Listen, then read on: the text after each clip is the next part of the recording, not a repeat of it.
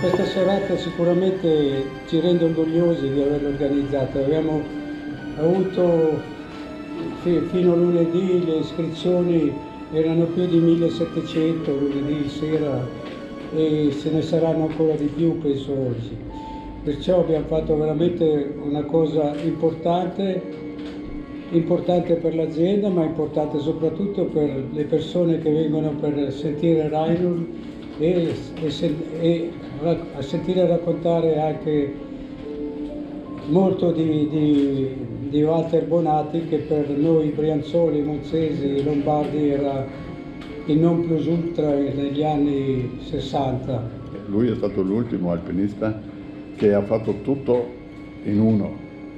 Per 15 anni lui era l'alpinista mm, d'avanguardia mondialmente parlando facendo sul bianco una via nuova, partendo per il Gashapon 4 per il Karakorum, ritornando e andando in Patagonia o andando nelle Ande o andando di nuovo sulle Alpi, sul Cervino a fare una via nuova.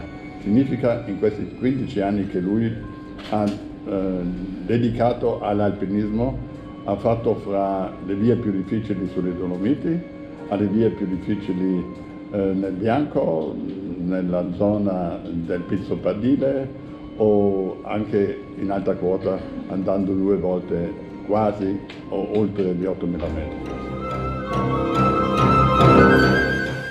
Allora, nel mio periodo, bisognava ancora arrampicarsi perché abbiamo fatto tutto noi.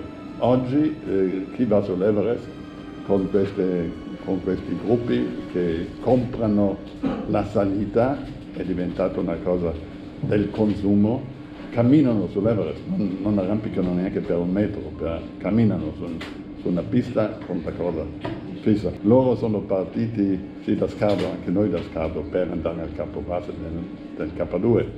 Oggi la strada porta eh, gli alpinisti fino a Paiu, poi sono ancora tre giorni, noi siamo, abbiamo camminato per due settimane per arrivarci. Oggi 99% chi va sull'Everest va in elicottero al campo base. Parecchi vanno in elicottero fino a 6.600 metri e poi salgono in cima. Con il doppio dell'ossigeno, eh, aprono il doppio dell'ossigeno di una volta. È tutto un altro mondo. L'alpinismo tradizionale, vissuto brillantemente da Walter Bonatti, eh, sta sparendo. La roccia diventa sempre più sport. Oggi 90 e qualche cosa di rocciatori vanno in palestra, vanno a fare indoor e con questo eh, l'arrampicata aumenta perché qualcuno di questi esce anche dall'indoor, però la maggior parte va poi sulle falaise, su piccole pareti molto difficili con gli speed dove non si può cadere. Eh, questa, questa arrampicata è anche una disciplina olimpica è tutto dimostrazione che è sport. Sport è misurabile, l'avventura non è misurabile. Se io vado sulla parete del civetta d'inverno a farla in invernale, non è misurabile con un'altra salita un anno prima, perché le condizioni cambiano.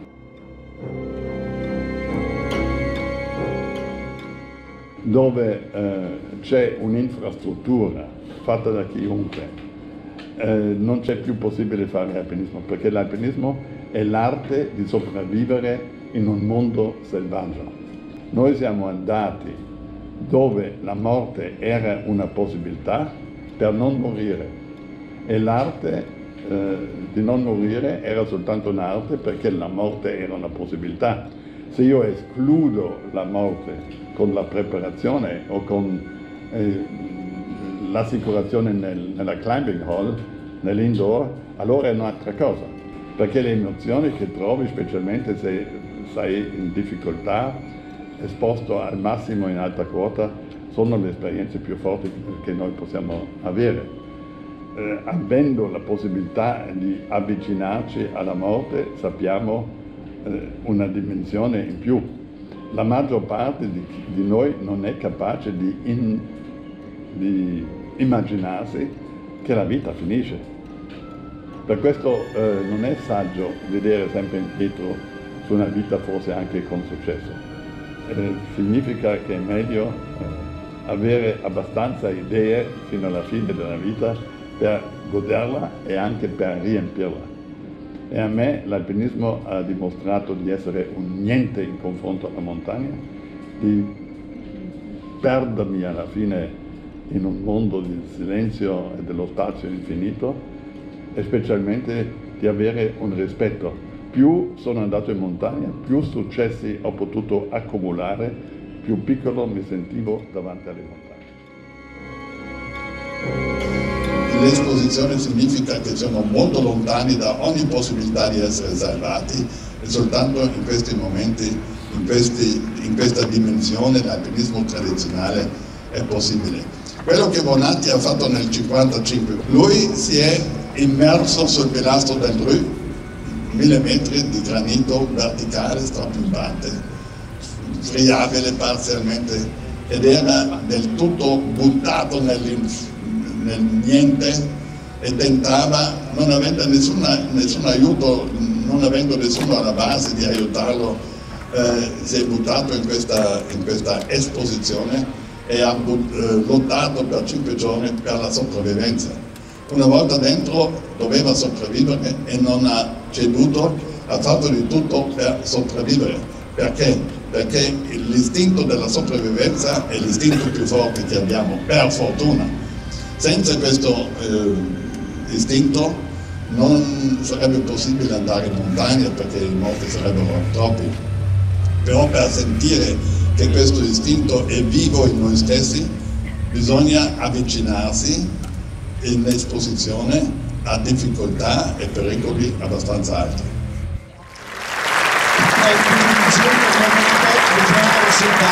Sergio Longoni per piacere sali da noi